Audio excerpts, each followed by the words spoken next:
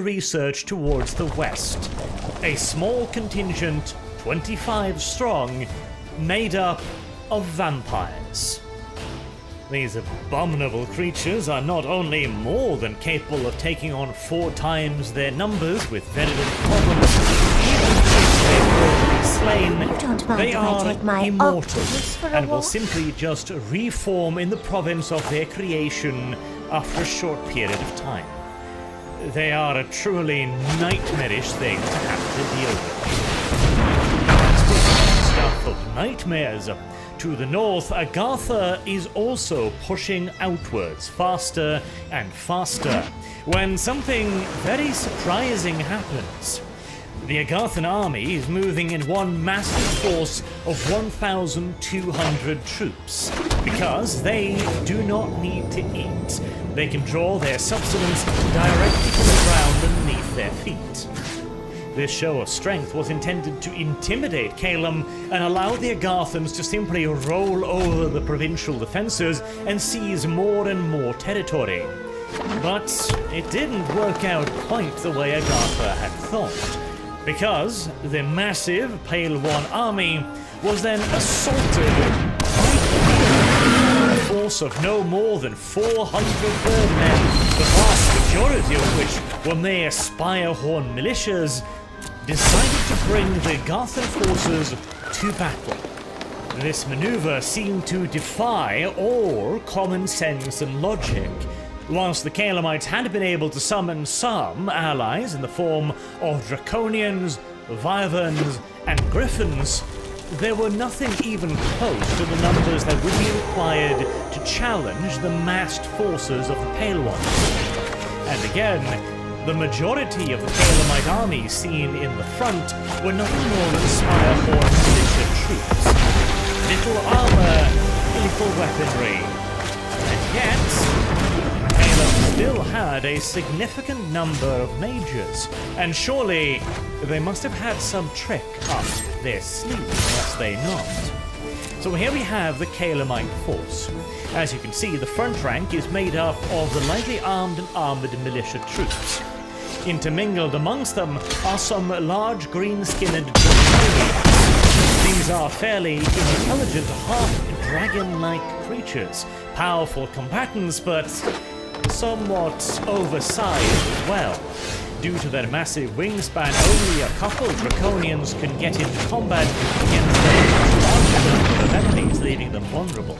There are also some wyverns, small diminutive dragon-like creatures with a poisonous tail, and griffins, fairly violent animals the best of times. There is also a huge number of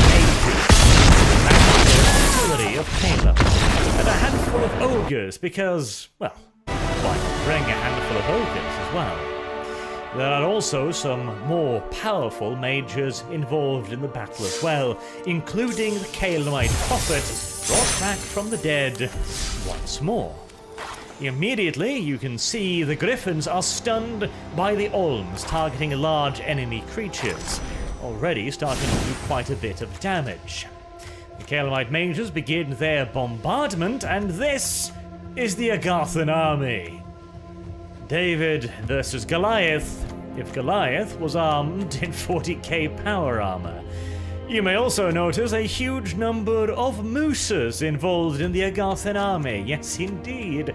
Those are neutral creatures brought along due to their ability to provide ranged support, as each moose is ridden by two small goblin-esque creatures armed with short bows. The majority of the army is made up of massive ancient ones. This is how much time the Agarthans have been allowed, to the point where now the primary force of their armies are no longer the small human-sized cave guards, but instead massive ancient ones and Olms. This is what a near uncontested economic advantage is going to do to you if you're up against Agartha. It is not a pretty sight. The Griffins land first, and the spell Storm is cast. Now, Storm will prevent the Calamites from flying. you may notice that they're also summoning huge numbers of air elementals. They are still able to fly even during the storms, and here, this is the trick. Wrathful Skies, a very large, very powerful spell that covers the entire battlefield in constant lightning strikes, doing 15 points of armor negating shock damage. And due to the fact of it being cast in a storm, the number of strikes is doubled. Just look at the sheer number of lightning bolts hammering down across the battlefield, along with all of the other magic being fired off by the Calamite mages as well. It is a devastating show, of course, but all parties have made a bit of a tactical mistake. You can see here all of the air elementals that were dropped in amongst the Agarthan ranks. The air elemental is a summon, a battlefield summon. When created, it will shoot up into the air and land amongst the enemy's rearward ranks. Large numbers of the Agarthans have been set to attack closest, which means that they are not closing upon the largest possible number of Calamites. Instead, they are turning around to fight. This is a small mistake on behalf of Agartha, but it is an almost equally, if not indeed larger problem for Caleb, since all of their mages are now casting their devastating lightning magic on only a small portion of the Agarthan forces. A small portion made out of massive ancient ones who are soaking up the punishment with barely so much as breaking stride. You will also notice that they've already slaughtered their way through practically all of the Spirehorn militia, and are now in amongst the Draconians and the Mages. Whilst thunder strikes are hammering down across the battlefield, carving great rents in the Agarthan armies, it is also striking Caleb's forces as well. And in a battle between 400 troops and 1,200, if anything even remotely like equal rates of attrition is applied, well, this is the result. Whilst the Agarthan lost 600 merely to the wrathful skies in and of itself, the Calamite army was de facto annihilated. It had been a brave, last desperate attempt on behalf of the Caleb. It had mobilized everything it could in the way of manpower in an effort to destroy, or if not destroy, then at the very least shatter the Agarthan army. What at this point was starting to look more and more inevitable. Five of their last major army to do nothing rely upon provincial defenses to try and stop the masked Agarthan troops. They were trampled underfoot remorselessly and relentlessly. And soon, with the fall of the capital, the war in the north only enemy stronghold of any real significance that remained was Yomi's capital in the south, the abode of the heretical god of the Yomi Calamite faction. But it, too, was not going to hold out much longer than Caleb. A much reduced but still significant Xibalban force had swept aside the provincial defences and were now standing outside the walls of Yomi. It contained several large scorpions, mages, storm demons, a handful of ocelotls, warriors, sun guides, and brand new entry, the Una Queen, Demon lords of the lower hell come in significant numbers to aid Xibalba in the final battles. On Yomi's side, a handful of defenders bravely on the walls, whilst inside the fortress was a ragtag collection of summoned troops. Dispossessed spirits, hounds of the netherworld, a few bakemonos, some undead, and the last few of the Dai Onis. Four Dai Onis and a couple of samurai generals. It was not a force that would hold out long against the beast bats that descended upon it from up on high. In fact, the numbers seemed so heavily stacked against Yomi's final engagement as the Xibalban scorpions flooded through the breach in the walls and Ocelotlum began falling from the heavens, that out of the four remaining Diones, only three had the courage required to stand and fight one last, final time for the honor of Yomi. And so the three last Dione on the continent stood bravely against a vastly superior foe, surrounded on all sides, and fought to the very end. That final worthy of some good art right there. Whilst we enjoy it, let's uh, summarize a little bit. A out-of-character summary of the game itself. If you haven't played Dominions 5, I highly do recommend checking it out. It is a pretty damn awesome game, and it has an incredible amount of complexity. In this game, the parties chose their own factions, though we did have a discussion about which factions we were going to play to try and make it somewhat balanced, and I think we achieved that, because early on, Caelum was so close to delivering a near fatal blow to Agartha.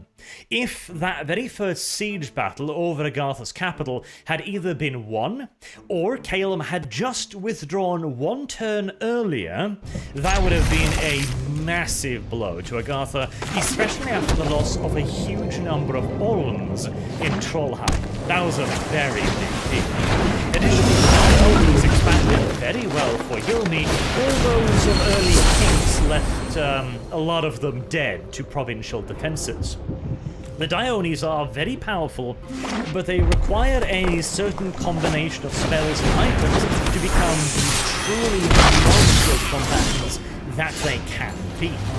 And early on, I, as Xibalba, had no real answer to the Diones. I was rescued by a Garthos otherwise I would have lost a lot of territory to just a single Dione.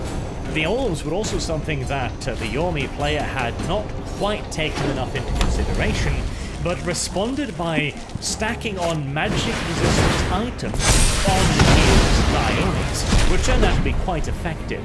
Since at that point it needed a huge number of Olms to deal with a single Dione, since the magical resistance could be overcome, but it required a lot of Olms casting a lot of Mind Blast going. But at that point, the scales had already begun to tip. The Yomi Calamite plan was to cripple Agartha and Xibalba's economy via eternal storms, since neither Yomi nor Caelum in this particular configuration would need a whole lot in the way of money or resources, trying to rely more on summons and low-cost militia troops. However, they had not taken into account riches from the deep, and so whilst their own economy was ravaged, the economy of Xibalba and Agartha stayed pretty much exactly the same.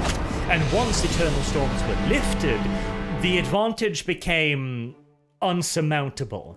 Up until that point, the two parties had been pretty damn well matched, with both sides having a pretty good chance to inflict serious damage upon one another and keeping the war going. But once riches kicked in and storms went away, the economy simply just spiraled completely out of control. And Agartha was able to create ginormous armies of nothing but super heavy ancient ones and Olms. At which point even Wrath from the Heavens, the big Calamite spell, was just not enough to turn the tides of battle. Because even though it does 15 armor negating damage, more than enough to kill any human, it would still require 4 hits to kill a single ancient one and meanwhile the Spire Horn militias were getting killed in one hit from those very self-same Thunderbolts. Yomi and Caelum had bet on a very early game, rapid, aggressive strategy, and it had very nearly paid off massively as well in the case of Trollheim and Agartha.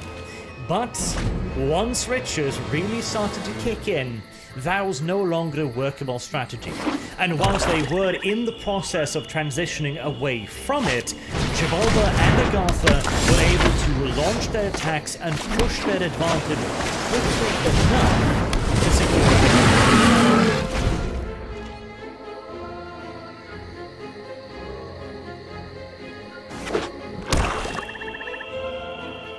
but they also hate the Psyker.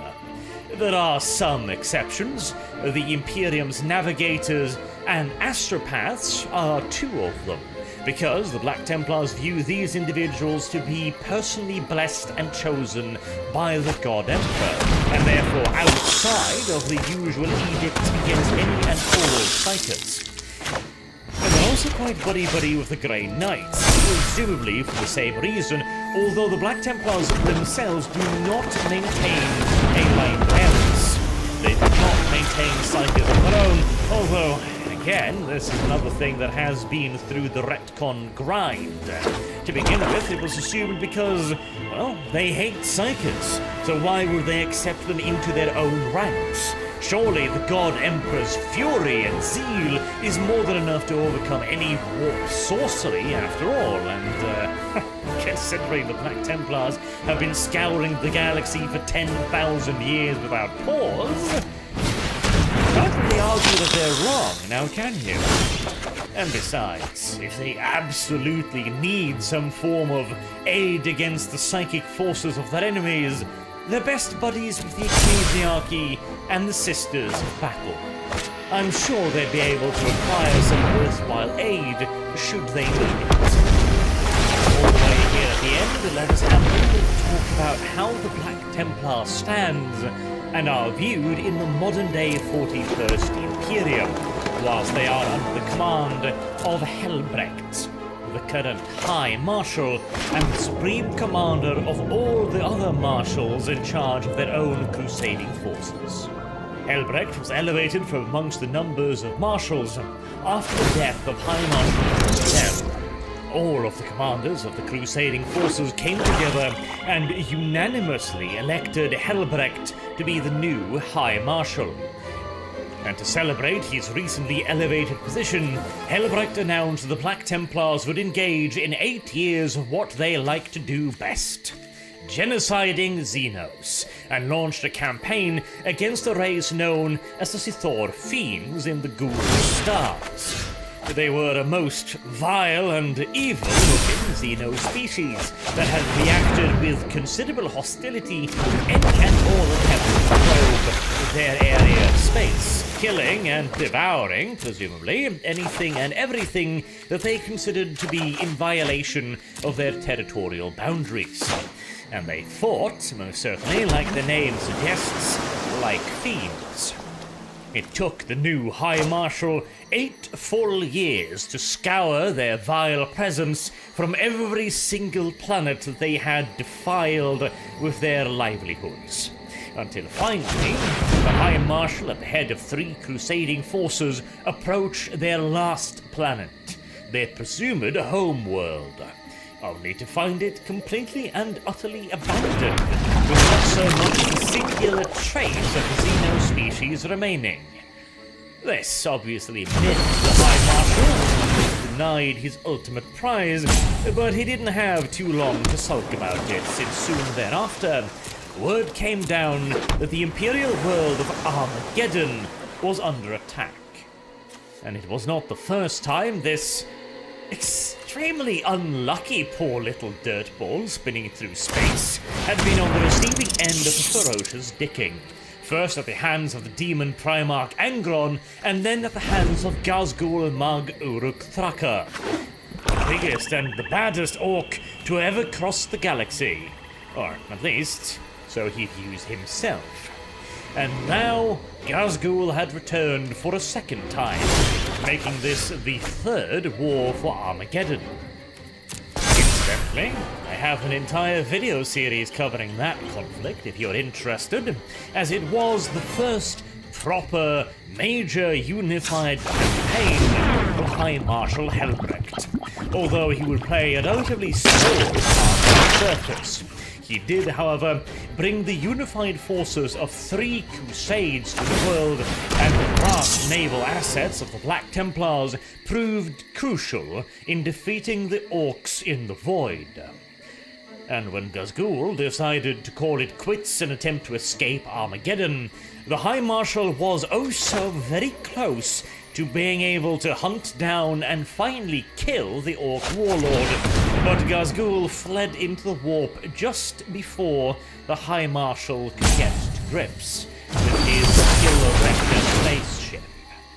But despite the flight of his quarry, the High Marshal had gained for himself quite the reputation amongst the other Space Marine forces, and had proven to everyone who might have doubted him that he was more than worthy to take up the mantle of High Marshal. Though ironically, Helbrecht himself would actually come to doubt that very thing himself, after a defeat at the hands of Imotekh the Stormlord one of the rulers of the ancient Necron dynasties, a race of mechanical skeleton monstrosities with hyper-advanced weaponry.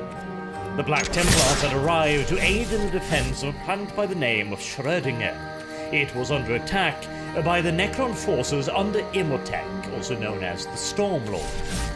The Black Templars were not able to decisively engage and annihilate Necron forces, and Helbrecht, leading the assault personally, ended up in a one-on-one duel against Imotekh. And that is a very unenviable position. A Necron Lord is no slouch in hand-to-hand, -hand, and he has several advantages over a human, even one as enhanced as a High Marshal of the Black Templars. Firstly, Imotekh can regenerate almost any wound done to him. Secondly, he never tires. And thirdly, his offensive weaponry is devastating. The Necron Lords have access to weaponry that can slice through even Astartes' power armor like butter. And slowly but surely, after an extended exchange of blows, High Marshal Helbrecht fell down exhausted also, after he'd been fighting his way through the mechanical hordes of the Stormlord. But, instead of finishing him off, Imotekh instead severed Helbrecht's right arm, and stated that he would let him live, and the arm was just so that Helbrecht would forever remember the sting of this defeat. The Black Templars, unsurprisingly, flew into a sullen rage and rallied towards their fallen High Marshal, recovering him and then subsequently from leaving Imotekh and his Necrons in command of the planet. Helbrecht did not take this defeat. He went on a five-year-long self-imposed pensioned crusade to pay for his mistakes. And once it was done, he returned to the ancient chapter home of the Imperial Fists, Phalanx, a gargantuan space-born fortress of near unrivaled destructive power, where he sought the guidance of Primarch Rogal Dorn, or, at this point, what was left of him, a single hand. Nothing more of the Primarch has ever been recovered, leading many to suggest, myself included, that Dorn is probably still alive somewhere out there. Now, I shan't comment too much on the uh, morbidity of a one-handed man seeking out the literal hand of another man for guidance. That the loss of a hand was a measly and could even be seen as a sign a challenge for him to overcome, rather than something to bring him down in defeat. And intent on revenge, he tracked down Stormlord and managed to board his tomb ship, the Inevitable Conqueror. No small feat in and of itself, because Doom ships are remarkably Helbrecht then fought his way through the interior, and once again came face to face with Imotekh. And if you piss off a Black Templar, you really better make sure you kill him. Because Helbrecht wasn't dead. And Imotekh very nearly was, uh, managing to teleport out at the last instant, waiting just long enough to congratulate Helbrecht on their one victory apiece resolution. This, um. This.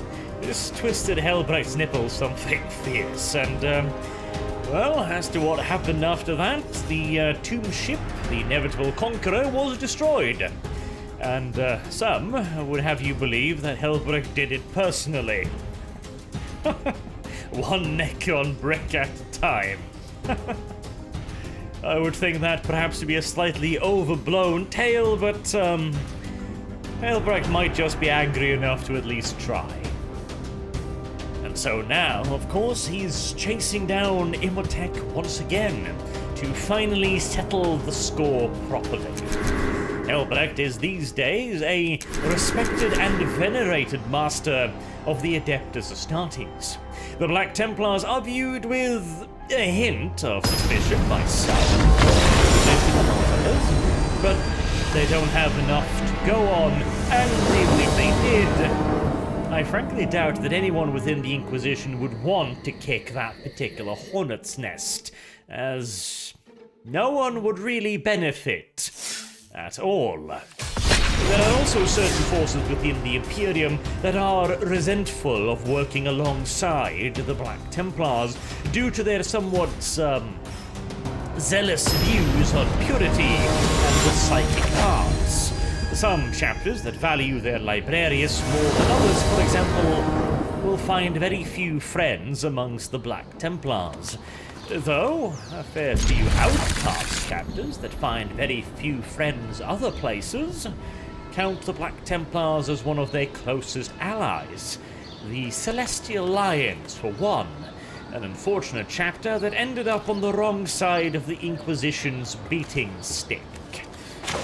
Templars have a little bit of a, a relationship with them as well. The Inquisition might have their suspicions about the Black Templars, but the Templars hold no such suspicions towards the Inquisition. They fully recognize them as much bastards that they actually are, and are not particularly hesitant about letting them know.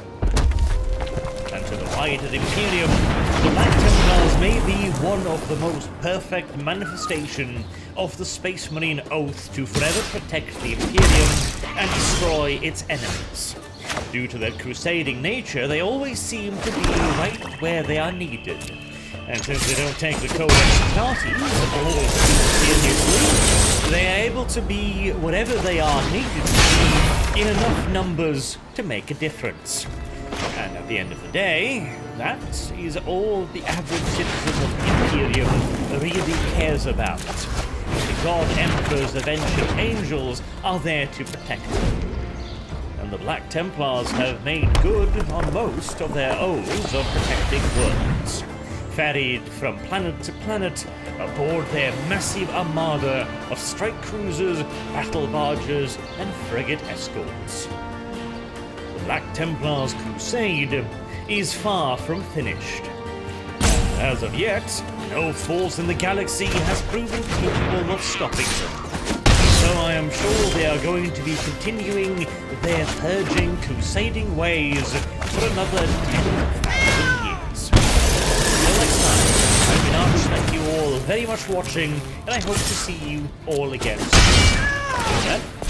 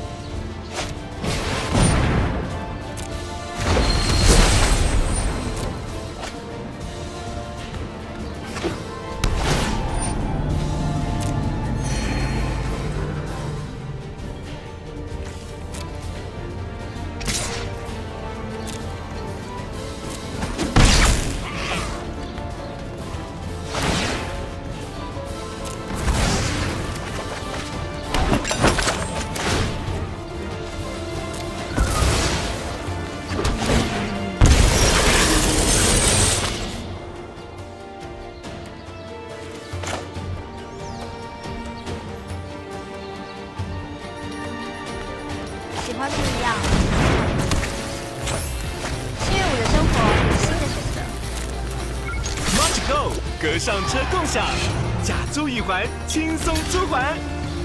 想购就购，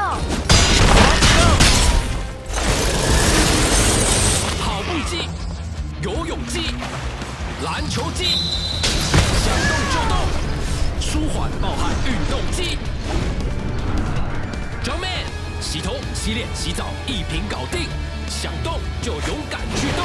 Joeman，型男必备神器，温和氨基酸配方，先洗净，启动肌肤防御力。j o Man，让你帅到没朋友，只有女友。